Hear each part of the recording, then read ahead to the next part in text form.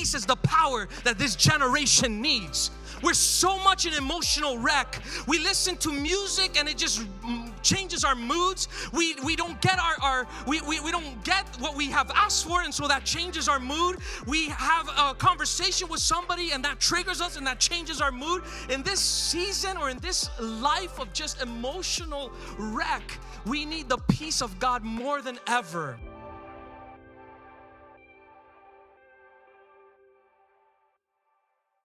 You know, I'm excited because um, once in a while we like to do what's called um, series in our church.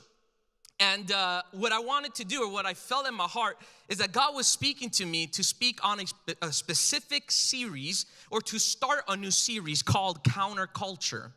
Counterculture Christianity. Um, the reason why is because in the type of world that we live in today, let me tell you that when we look at scriptures, the closer we are to the end times, the closer we are to when Jesus comes to rapture his church. Yes, we are a church that believes in the rapture. I'm surprised we got to explain that nowadays. But yes, we, we are a church that believes in the rapture. And when Jesus comes to rapture his church, before that, society and the church will diverge. If you were thinking that church and society would come closer and closer and meet in the middle and kind of be friends, let me tell you, that's not what scripture paints. The scripture says that it will get to a point that persecution happens worldwide.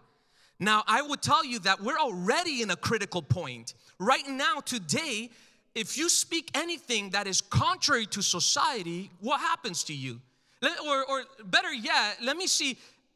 If, if, if, yeah, you get canceled. But let me let me ask this: Is there anybody here that could say, "I feel bold at my workplace to speak uh, Christian views.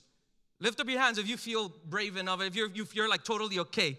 Yeah, I see a couple of hands. Amen. They're ready for persecution. but but there's but there's there's certain industries, like I like I mean, correct me if I'm wrong, but I mean, being a teacher in today's society is tough. Imagine saying, sorry, I don't believe in, in teaching kids about LGBTQ things. What will they applaud you and say, wow, I respect your views? What would they do to you? Canceled, ostracized. They'll give you less hours. So that's what I'm saying that we're, we're living in such a time today where we're so scared to be speaking certain views of the Bible. But I'm here to tell you that we gotta get used to this. You gotta understand, I gotta get used to not having the fear of man. Society will have certain views, they have a different culture, but you and I, we're not part of that culture. We're called to live out a counterculture Christianity. It may look different to how the world does things, but we gotta do things in obedience to Christ. And so that's what I'm, this whole series is about. I want to differentiate what the world is teaching and what God is teaching. And nowadays we get so confused because we can't even, we, we don't even know the difference. Let me tell you that there is the kingdom of light, the kingdom of darkness, but there is no in between. God is very clear in his morals and he's very clear in what he asks of us. Are, are, are we here today? Amen. Don't worry, you're not gonna get canceled here. You can shout as much as you can. You can say amen as loud as you can. You ain't getting canceled here. Amen. So, um, so today, what I wanted to talk about, or the very first thing the Lord was speaking to me, is the following. And before I even start, I gotta say, some of the teachings in this month, it might even trigger you, it might even bring confusion to you because you're so used to hearing a particular viewpoint that anyone who speaks any differently, it just sounds strange. But here it is. Today's title is Faith Over Feelings. Faith over feelings. And I already hear the grumbles. Uh, I thought emotions are supposed to be important. Emotions are, you know, we'll get there in a moment, but I want to first tell you a little bit of context, a little bit of story it's in Daniel 6 18. If, if you have your Bibles with you, let's go to Daniel's, uh, Daniel 6 18. And I want to introduce this subject to you with the following. So the Bible says, Then the king went off to his palace and spent the night fasting, and no entertainment was brought before him, and his sleep fled from him.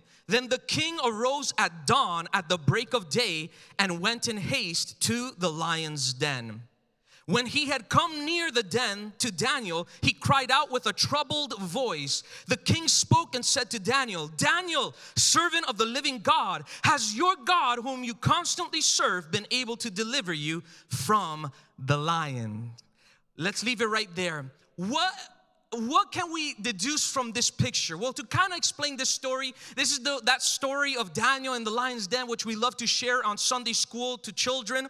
But I believe there's so much in depth, detail, and principle in this story that, that I believe it can it help us in this subject of faith over feelings. What had happened here is that Daniel was caught praying, and at a time when you could not pray to anybody but the king. So, in, this, in that season, he was caught praying to God. And so, what they did is that out of punishment, they took him to the lion's den. And when they put him there, well, guess what's gonna happen in a lion's den? They were expecting for Daniel to be eaten alive by the lions. But we know the story goes that when they opened up the lion's den and looked inside, guess what they saw? Daniel was chilling. He was relaxed. He had faith over feelings. But a little detail that, that we tend to miss out in is this is that there's a big difference. Like I said, we gotta be counterculture. The society or the world has a, an opinion about emotions, and God has a different opinion about emotions. Today, what we celebrate a lot is something called emotional awareness. It's such a secular social science that we celebrate and say, Whoa, we've modernized as a society because we're so emotionally aware. I know what triggers me, I know what offends me, I know uh, uh, all of the things that these things tend to do to me. But guess what happened here in this in this scene is that the king loved Daniel so much, he didn't want him to go to the lion's den, but they threw him in anyways because that was the law. But guess what happened? Is that once they put Daniel inside of the lion's den, the Bible then says, as we read right here, the king went off to his palace and he went fasting. It's not he was spiritual, you know, praying to God. In fact, no, he by fasting it meant that he could not eat anymore. He was worried. Have you ever been so worried sick, so stressed that you can't eat anymore? I've been there where a man like you you can't stomach things anymore. Like you're you're just you're, you you you've been out of a relationship and then you just can't eat anymore. You're, you're depressed you're sad you're anxious. And so that was king Day, uh, that was the king. He was saying that he fasted. There was no entertainment for him. Nothing could cheer him up. And look at this. And the sleep fled from him. Isn't that interesting? He couldn't eat. He couldn't be entertained. Nothing could cheer him up and sleep fled from him. Can I tell you this? Was Daniel going through the same thing? Daniel was chilling while the king was in a palace, worried sick. Can you imagine that? I think if anybody, Daniel should have been worried sick.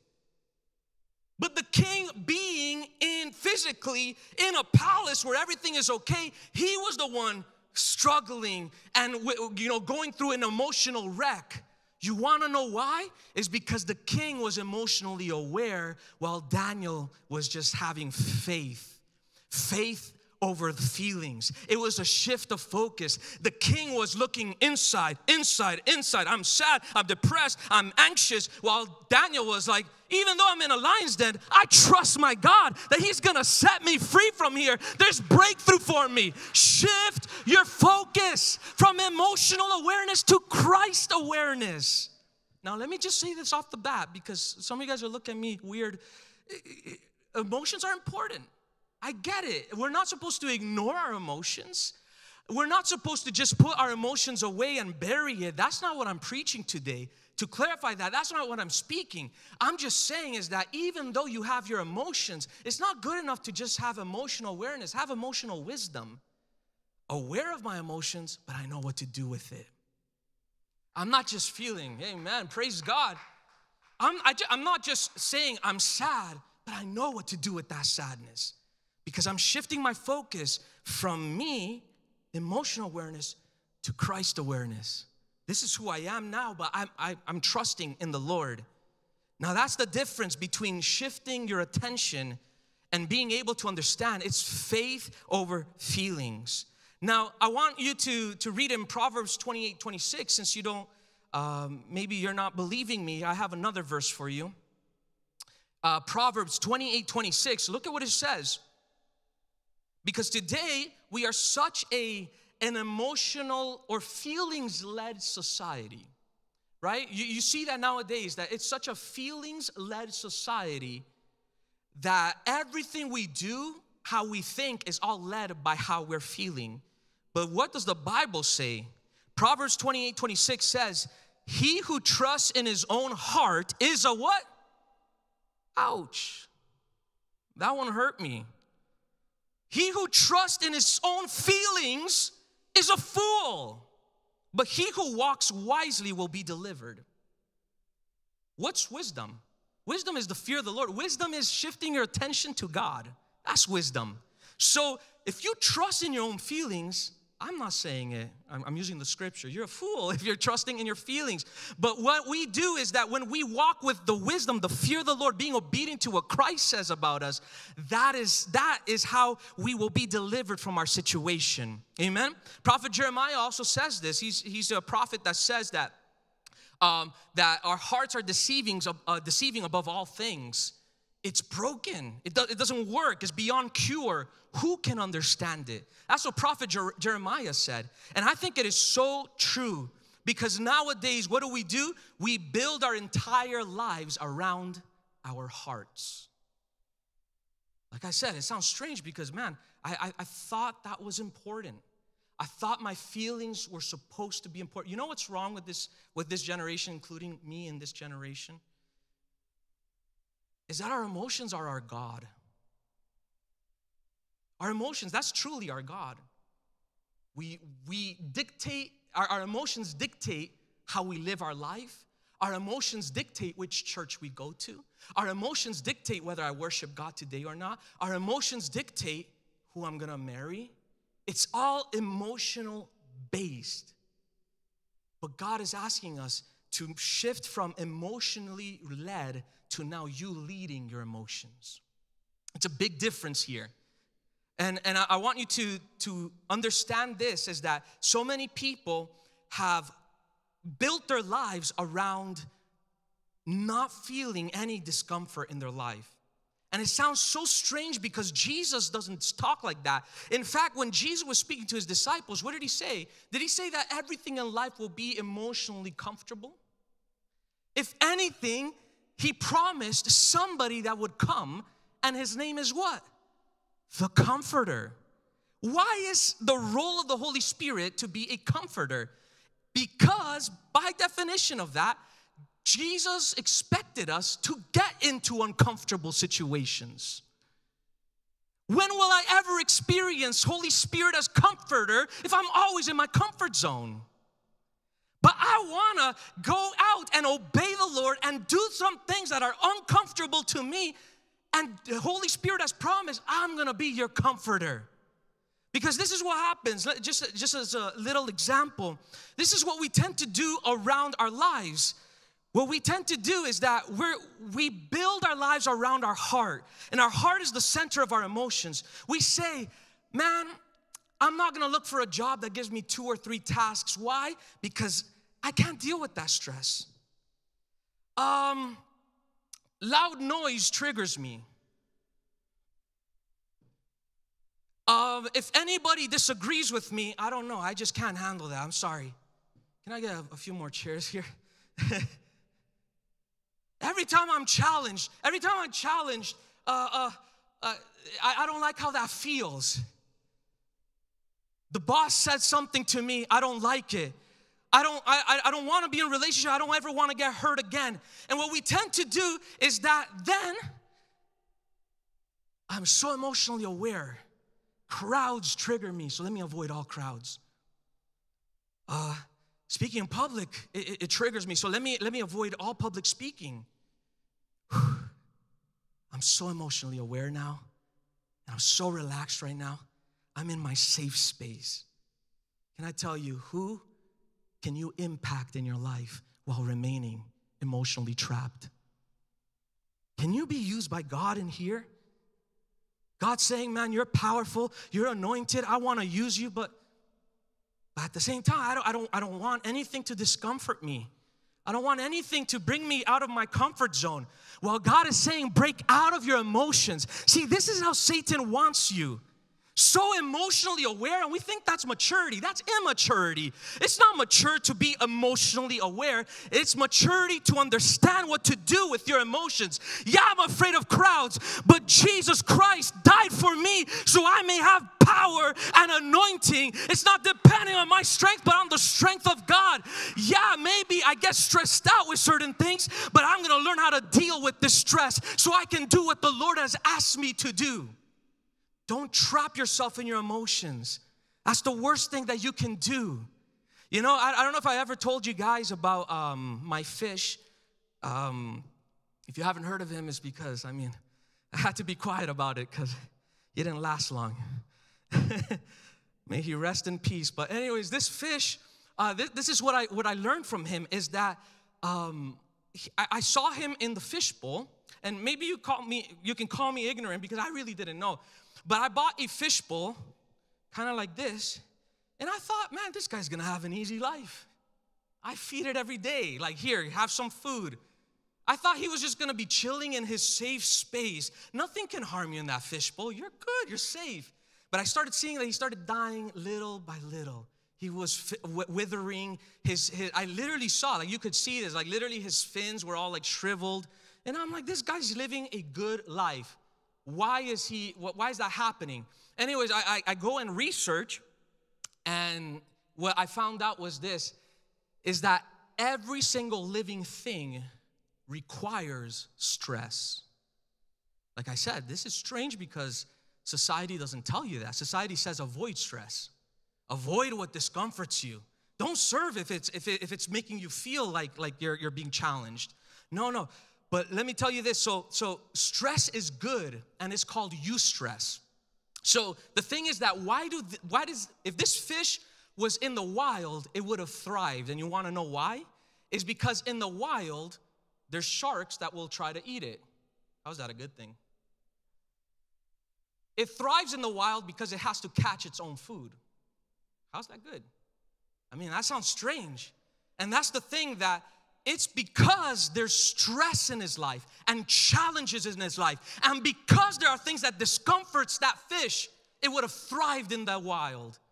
But because I kept it in a safe bubble, feeding it and giving everything that it needed, it died. This is Satan. He has you in emotional awareness fishbowl. Where you feel you're good. I mean, I'm comfortable right now. Nothing right now in my life will discomfort me and that's how I like it. That's killing your spiritual life. Let me say something that sounds strange is that I pray that we actually step into situations that stress us out, that challenges us. Why? Why do I say that? Did Jesus not say, carry your cross? Do you know what carrying your cross means? It means difficult situations will come into your life. That means that I, I need to die to myself, die to my opinions, die to anything that discomforts me. I need to challenge myself, crucify myself. And that's important. And so I challenge you step out today out of that fishbowl of emotional awareness and step into emotional wisdom and understand I need to trust my God. Get ready to be challenged. I want to say this 2023 will be challenging in a good way for your life. You got to praise God for that. 2023 is gonna challenge you in a good way. Amen. Can we put this back? I challenge you. No. thank you. Thank you guys so much. But but but do you get that picture? Is that that is why we have a society that is dying slowly. A society where no one wants any jobs that are challenging or any jobs that make us feel uncomfortable. We don't want to hear any other opinion that challenges our own opinion. But it's time to have a counterculture Christianity. I'm readying you for persecution. Say amen to that. Amen. We're getting ready for persecution. All right. So, uh, like I said, we're trapped in our own emotions. Eustress is, is good. Not all stress is good. There's moments where, where we feel so overwhelmed that God, what He wants us to do is not to deal with that, uh, or, or carry it ourselves, but to cast it upon His feet because we know that Jesus commands us, all who are heavy burdened, all those who are weary, come to me and lay it all down. Cast your worries onto my feet. That's what Jesus tells us. He's not telling you to carry your emotions, but to give it up to Him. Okay? So, um, we only do what feels right, or people only follow what they feel in their heart. I, tend to hear that a lot of, of this generation where we say, you know, I feel like God is telling me to, to do that, or I feel this. The feelings are tricky because, like we said, is that our hearts are deceiving above everything else.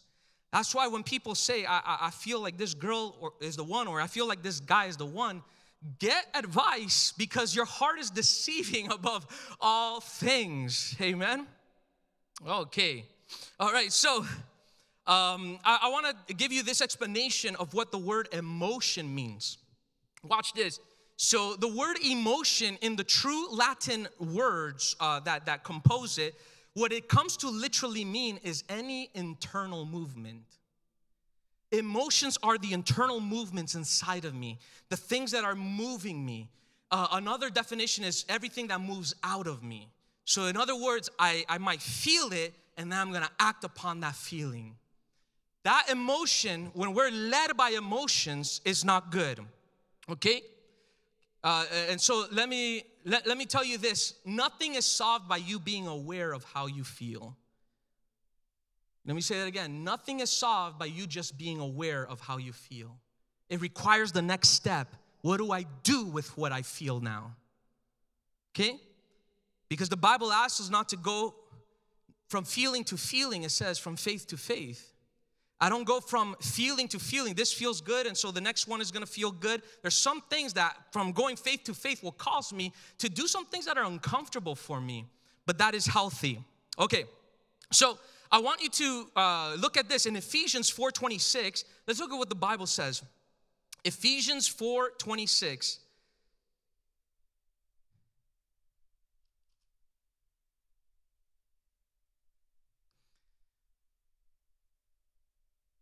This is good. It says, Be angry and yet do not sin. Do not let the sun go down on your anger, and do not give the devil an opportunity. Listen to this. Is this saying that you should not feel angry? Oh, thank God. I guess I can feel angry. There's times, man, I feel angry. But here's the thing the, the trick is that we be angry, but do not sin. And what does it mean, uh, sin? Is do not let that emotion lead you. Don't let it cause you to do something. That anger, it's okay to feel it. You're upset, you're angry, good. You're allowed to feel that. God is not saying bury your emotions. He is saying feel that anger, but do not let it go down with you when the sun goes down. Meaning, do not dream with that anger. Because guess what happens in your dream when you're uncontrollable? Man, people are be, be stabbing other people in their dreams. Like, man, if only I can do this to the, that person. You know, my, my dad shares this story. Uh, and, and, and he always says that there were people growing up that had uh, offended him and hurt him. That there was a season in his life that he started having a lot of dreams that he had a gun, went back home to his country, and started shooting everybody. A pastor. but let me say this to you that's what happens when we let the anger rest with us. We allow it to go down with us. And here's the key is that we need to deal with it before the sun goes down. That means not that you're gonna resolve the thing that caused your anger, but you're gonna deal with it by saying, God, I give to you my anger. Lord, I give this up because I don't wanna go to sleep thinking about this angry thought. Amen? Does that make sense? So it's not a sin to feel, but it is a sin to take action on that feeling when you manifest the emotion, that's the that's the sin. Okay, um, you know I I, I love that. Uh, uh, so it's not bad to to feel things, um, but there's that meme, you know, the the one where there's this lady, you know, uh, singing out, Holy Spirit, activate, you know? That, that meme, I love it because it's so true. Some of us, that's what we got to do. We feel the anger, but Holy Spirit activate in this moment. Like, I need you, Holy Spirit, to change me right now because I'm about to lose my credentials. I'm about to say something that's to hurt somebody. So we need the Holy Spirit to help us, and that's the gift of the Holy Spirit. When I'm uncomfortable, the Spirit comes as a comforter. You're upset? Well, let me give you the emotions of Christ. Because a lot of us think, well, well, is it bad to have emotions? No, the reason you have emotions is because God has emotions. We were created in the image of God. Did you know God feels anger too? He's a loving God, but he's also an angry God. Yeah, the Bible says he has wrath, he has emotions. Every emotions we feel is because we're made in the image of God. So it's not the emotions that is a sin, it's what we do with it that is the sin. Okay, so we need to say, Holy Spirit, give me the emotions of Jesus. Let that activate in my life. All right, some of you guys need that as your ringtone. Holy Spirit, activate. Getting that phone call from the wife. Oh, Holy Spirit. Oh man. Proverbs 25, 28. Look at this. Proverbs 25, 28. It says,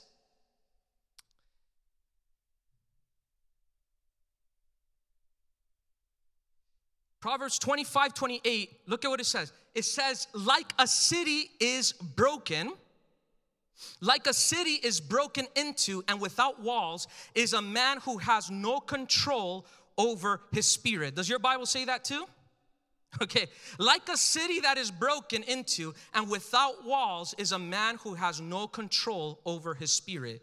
Broken into by who? By what?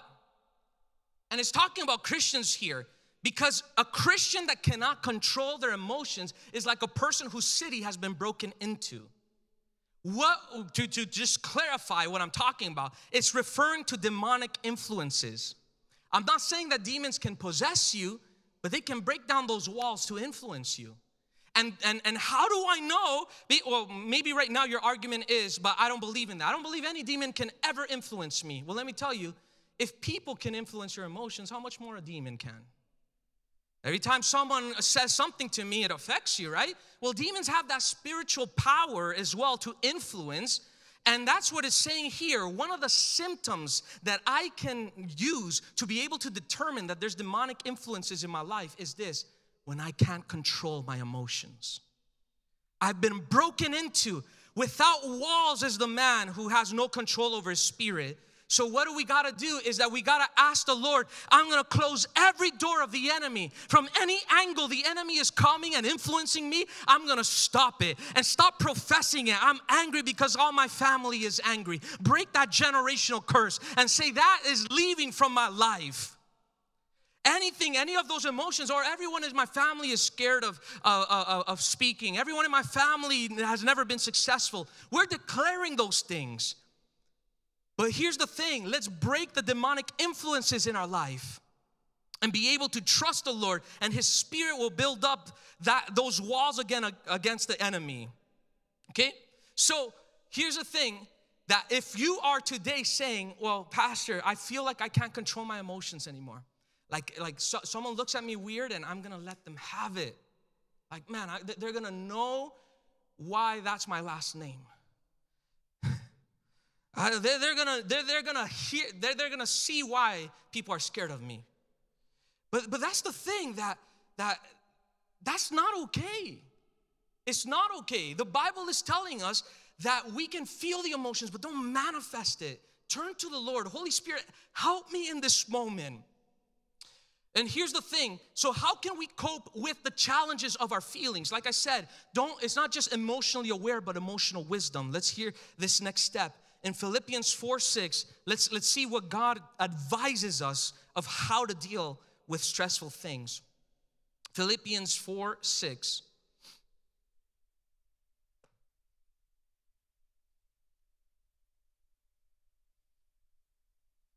Look at this. It says, Be anxious for nothing, but in everything by prayer and supplication with thanksgiving, let your requests be made known to God and the peace of God, which surpasses all comprehension, will guard your hearts and your minds in Christ Jesus. How do I guard my feelings? How do I how am I able to protect my feelings?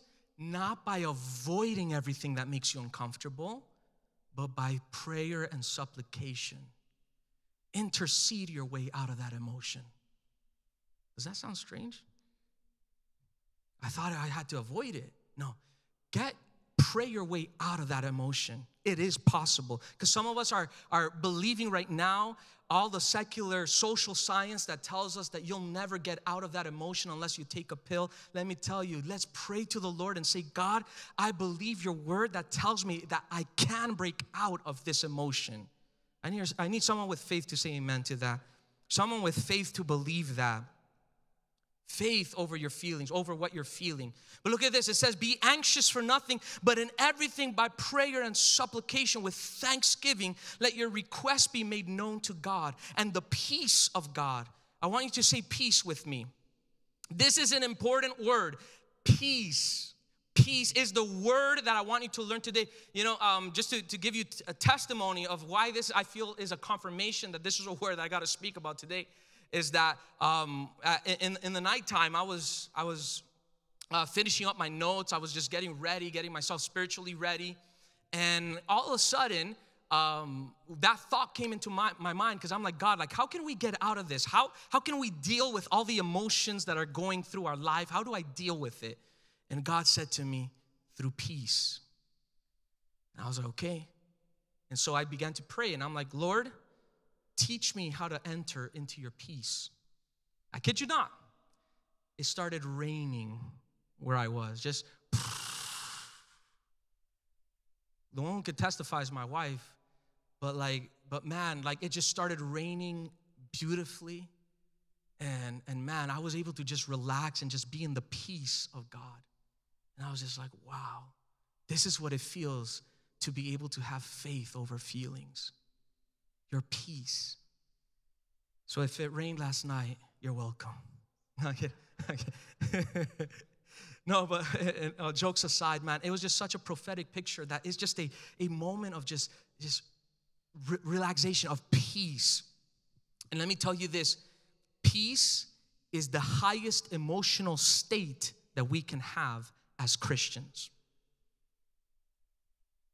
Can I say that again? Peace is the highest emotional state that we can have as Christians. Peace is so important. And let me tell you this yes, anointing is important and power is important, but those two things can solve all your issues without the peace of God. So important is the peace of the Lord that in every single letter of the Apostle Paul, he has said, Peace be unto you. Every letter, if you, if you look right now, every single letter that he addressed his churches, he always said, Peace to you because peace is the power that this generation needs. We're so much an emotional wreck. We listen to music and it just mm, changes our moods. We, we don't get our, our we, we, we don't get what we have asked for, and so that changes our mood. We have a conversation with somebody and that triggers us and that changes our mood. In this season or in this life of just emotional wreck, we need the peace of God more than ever. We need his peace. It's the highest emotional state that you can have. And let me tell you this don't you think the Apostle Paul, uh, when he was addressing to his churches, he wanted to give them what was the most important thing that he can leave to them? And the most important thing that he could deduce was this have the peace of God. You know how important this is to God? That even the people of God, Jewish people, you know how they greet each other? They say shalom, which means peace. Um, uh, re- recently, actually, very recently, my parents just went back to, um, uh, to El Salvador and they were looking through some documents and we found out that actually one of our great uh, grandmothers is Jewish. And so it was, it was like, for me, it was mind blown because I'm like, man, there's such a diversity, such a crazy. I mean, our family is so mixed that I have a younger brother that's Filipino and an older brother that looks like he's from Dubai. But um, we have so many mixes, and so it was interesting for me to, to see that. And I'm like, wow, like, Like there, there's, I mean, in my in my family, we have a great grandmother that that is Jewish, and I'm like, wow. And so recently, anyways, the reason why I share that is because uh, recently I just started to learn a bit more on the Jewish culture and just to step in a little bit more to just uh, appreciate the people of God. And, and, and, and this is what I found out what shalom fully means. It's not just hello, because sometimes we just see people just saying shalom as hi or just a, a greeting. But look at what shalom means it means peace, harmony, wholeness, completeness, prosperity, welfare, and tranquility. Everything you need is in peace. Everything you need is in the shalom in the peace that comes from God. And that's amazing. How many of you guys want the shalom of God, the peace of God? Yeah, more than money, I want peace. More than power, I want peace. You know why it's important? Because when you have peace, you don't have anything to prove anymore. Are you an emotional wreck whenever you're gonna serve the Lord? It's because we're lacking peace. Because when you have the peace of God, you know, I used to be very susceptible back in the day to the pressures of people's opinions. Like, Pastor, you should preach that way. You should minister that way. The church should be like that. I used to be an emotional wreck, influenced by all those voices. But how do you solve that emotional wreckness? Peace. I'm at peace with what the Lord has given to me. And that's why I can serve Him in freedom. You want the peace of God? That's gonna cause you to no longer just live out in your emotions. Amen. Is this making sense to you? Okay, in John 14, I want you to read this. John 14, verse 27. Watch this. So, John 14, verse 27, it says, Peace I leave with you, my peace I give to you, not as the world gives, do I give to you. Remember, we're talking about counterculture. Jesus is saying, I don't give to you the way the world does. Do not let your heart be troubled, nor let it be fearful. Here's the thing is that when we're asking for the peace of God, we must come into awareness of this beautiful fact. Are you ready? Is this when we ask for the peace of God, you're asking for something that's already yours. Hello. You're asking for something that God has already given to you because Jesus said, Look, this is what I will do. When I leave this earth, when I'm gone into heaven, when I am already, when I'm crucified, I go down to the earth and I'm resurrected, what I'm gonna leave behind to you is my peace. This is what I give to you. So, why don't I experience peace even though I already have it? It's because I need the Holy Spirit to activate that in my life. I need the Holy Spirit to make me aware of the peace that I have in me. Amen. So this is powerful. And when you have that peace, look at what happens. Those emotions of anxiety leave. Jesus promises when you have my peace, you might have trouble in this world. You might have stress in this world. You might have offenses in this world. But all that fear, all those emotions will flee because of my peace that I have left you. You need his peace. It's been given to you, so become aware of that peace. And here's another one. So, Isaiah 26, verse 3. This will be the, the last verse that I read to you. So, Isaiah 26, verse, uh, verse 3. This is how, you know, once again, using the Bible, showing you counterculture Christianity. It says, the steadfast of mind you will keep in perfect peace. How? Steadfast of mind because he trusts in you. Trust in the Lord forever, for in God the Lord we have an everlasting rock. Here it is is that in order for me to have peace, what does the Bible say? I need to be aware of who Jesus is. When I am aware that He is my, my, my everlasting rock, when I believe He's the anchor of my life, peace comes into me. So we must shift we have we must have a steadfast of mind what does steadfast of mind mean it means to be decisive having chosen jesus and this is why I'm saying, and I'm gonna finish off with this. This is why I'm saying that we must have faith over feelings. It's not your feelings that will bring upon peace, it is your faith, steadfast of mind. Today, I choose the peace of God. I look on to Jesus today. And let me tell you this when it says here, for in God the Lord we have an everlasting rock, this is what it's saying. And I'll finish off with this. When we, when we are recognizing that Jesus is our everlasting rock, we are talking not about a condition, we're talking about a position. What do I mean by that? Remember, faith over feelings. I am not waiting for my condition, I'm just being aware of my position. And when you're aware of your position in Christ, your condition will change. When I am aware where Jesus has placed me, when I'm aware that He has given me the peace, the conditions around me will begin to change in my life. Man, and so I tell you today, where, is, where are you positioned right now? You are positioned in heavenly places with Christ Jesus. So I don't have to be waiting for the feelings to come. I must be living off of my faith in my position in Christ. Can I hear an amen? So I wanna, I wanna let you know that in, in, in today's day and age, one of the most important priorities they will tell you is your emotions. And I get it. That's what our society has told us. The most important thing that we have is our emotions. And we, I, we put them, we have made our emotions like our idols. We obey our emotions, it dictates our entire life. When Jesus is saying, sometimes your emotions is not going to be compatible with obedience. Remember, Jesus, his obedience didn't match his emotions. He was in the Garden of, uh, of Gethsemane. He, he was, he, he, was, um, he, he was before the Lord, and the Bible says that he was just. Uh, he was just pouring out out of his uh, blood pores. Sorry, he was uh, blood was coming out of his pores. Sorry, as he was stressed out and just saying, God, I don't feel like doing this. I don't feel like going onto the cross. But that's where he began to shift from emotional awareness to God awareness.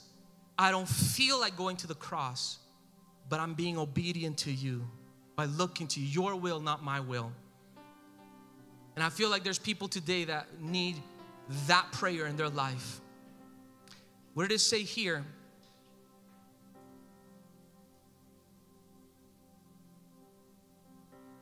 Be anxious for nothing, but in everything by prayer and supplication with thanksgiving, let your requests be made known to God. And the peace of God, which surpasses all comprehension, will guard your hearts and your minds in Christ Jesus.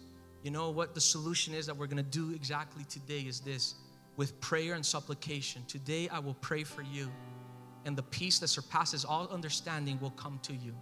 I only speak to you what I experienced, and I've experienced the peace of God, and you need that shalom so different to how, you know, the, the Jewish culture, they understand that relationship with God. When they greet each other, they're saying all those things. They're saying peace, wholeness, completeness. When they say shalom, they're, they're, they're literally praying the peace of God. And that's why that culture is so blessed. Well, here we are, and the way we say hello to each other is, sup. But when they greet each other, they're like, shalom peace of God, blessings of God, wholeness, completeness. So today, I feel like God wants to greet you with His shalom today, with His peace today. Can you help me today by standing up, closing your eyes? Can you help me just generate this atmosphere of peace? Peace is a person peace is a person. Yes, it is Jesus, but as well, what is it that was left to us? That's a good theological question. What did Jesus leave behind? The Holy Spirit. His Spirit is the peace that you need. Galatians 5:22 says for the fruit of the spirit is love, joy, peace. It's the fruit of the spirit. It's not a feeling, it's a position. I'm positioned in peace. And that will change your condition. I feel like there's people here who are feeling like their lives have been influenced by the demonic. You're feeling emotions you don't want to feel. You're struggling with anger. You're struggling with depression you're struggling with anxiety, you don't choose that. There's no reason for you to feel that, but yet you wake up in the morning and you feel that way. It's because the walls of the city have been broken down. It's time to ask the Holy Spirit to rebuild our emotional lives.